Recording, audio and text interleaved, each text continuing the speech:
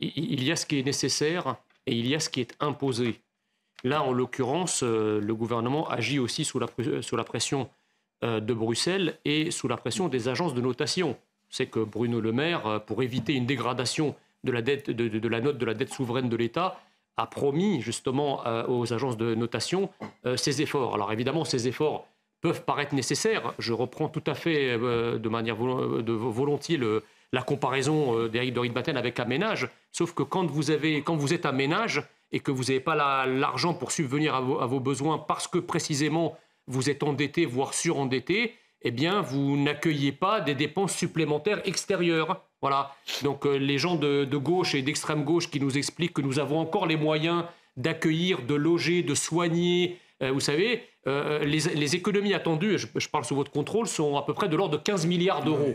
Bon, 15 milliards d'euros, quand on sait que, par exemple, l'aide médicale d'État représente un peu plus d'un milliard et que l'accueil des mineurs isolés étrangers représente 2 milliards, on est là à un tiers en cumulé des sommes que le prochain budget envisage d'économiser. Donc à un moment, si vous voulez, il faut arrêter de marcher sur la tête. Quand on n'a pas d'argent, eh bien il faut consacrer l'argent qu'on a euh, euh, à la nation et non pas à l'extra-national. Vous, vous, parliez des deux contradictions à apporter euh, à mes interlocuteurs. La première, quand j'ai entendu de la part du porte-parole du PCF que toute la classe politique avait fortement réagi contre ces taxes, c'est faux. Est-ce que vous avez lu une réaction de Jean-Luc Mélenchon à ce propos? Non, ce que j'ai dit, c'est que les est forces que, est-ce que vous avez entendu de dire que les forces de gauche que, Non, non, j'ai pas dit ça. J'ai dit que la quasi-totalité, à part Fabien Roussel, il y en a deux qui ont réagi. Genre, c'est pas compliqué. Hein. C'est Fabien Roussel, c'est Fabien Roussel et Olivier Faure. C'est les deux dont j'ai lu les réactions.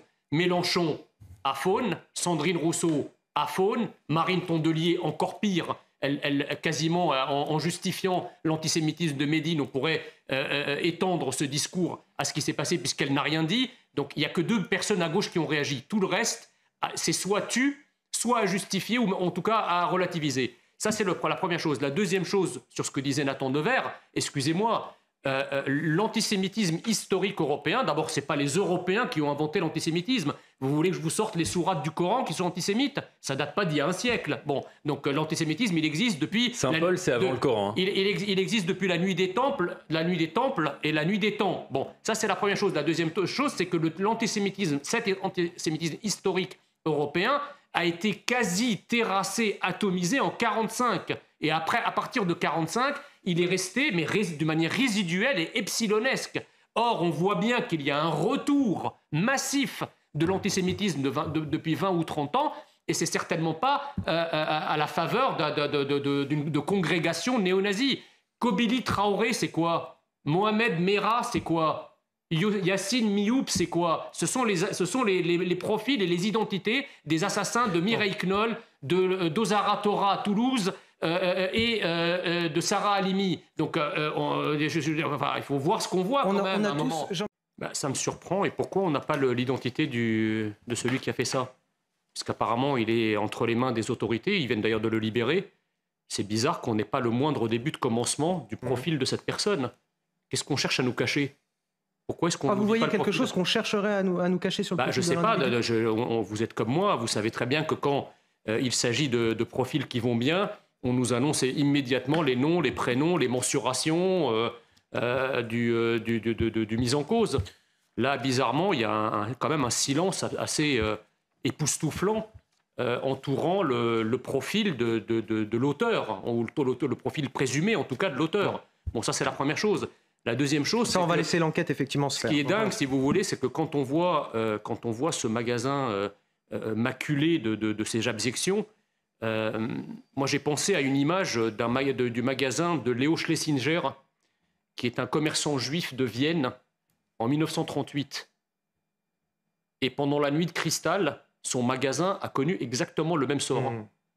Donc, je, si vous voulez, je suis un peu étonné que euh, euh, toute la sphère médiatico-politique gaucho-progressiste, qui n'ont qu'un seul mot à la bouche, le retour aux heures sombres, bizarrement, personne ne parle du retour des heures sombres. Enfin, en tout cas, les mêmes ne nous parlent pas du retour des heures sombres, alors que là, on est en plein dedans. Nous avons même toute une classe politique qui relativise ces inscriptions. Euh, on, parlera peut-être tout à l'heure du, tweet d'Aurélien Taché. qui nous parle de cet antisémitisme-là pour mieux relativiser celui de Médine, par exemple. On verra effectivement. Les sanctions prévues sont assez pour peu, pour peu qu'elles soient appliquées, comme mm. toujours. Hein.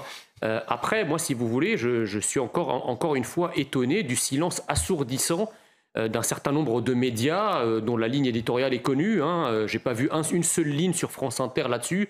ou sur France Info et, ou sur France Télévisions. Mm. je ne comprends pas, si vous voulez, cette espèce d'hémiplégie de l'indignation. On banalise les actes bah, C'est-à-dire s'il s'était agi d'une mosquée, tout le monde en aurait parlé, et à juste titre. Et à juste titre. Je ne vois pas pourquoi, ou même un, même un, commerce, euh, je dirais, halal, on aurait eu la France Aucune religion ne mérite voilà, d'être voilà. Donc moi, je, moi, je, moi, je suis pour. Enfin, moi, je, il faut s'indigner encore une fois pour toutes les attaques à connotation raciste ou antisémite, d'où qu'elles viennent et quelles qu'en soient les victimes. Donc euh, qu'on le fasse lorsque des commerces musulmans, par exemple, sont attaqués, c'est très bien. Je ne comprends pas pourquoi les mêmes perdent leur langue lorsqu'il s'agit euh, euh, d'actes antisémites. Alors moi, je vais vous dire pourquoi. Mhm. Parce que très souvent, comme je l'ai rappelé tout à l'heure, l'essentiel de l'antisémitisme contemporain, provient de certaines immigrations. Et il se trouve que ces immigrations-là... On n'a aucune information sur... C'est pour ça que je dis l'essentiel. Je, ne, je, ne sais pas, mais l'essentiel de cet antisémitisme provient jusqu'à présent de certaines immigrations. Quand vous interrogez, par exemple, toutes les, tous les juifs qui font leur alia, puisque les alias sont en, constante progression en France depuis une vingtaine d'années, posez la question à ceux qui euh, euh, vont vivre en Israël, pourquoi ils le font?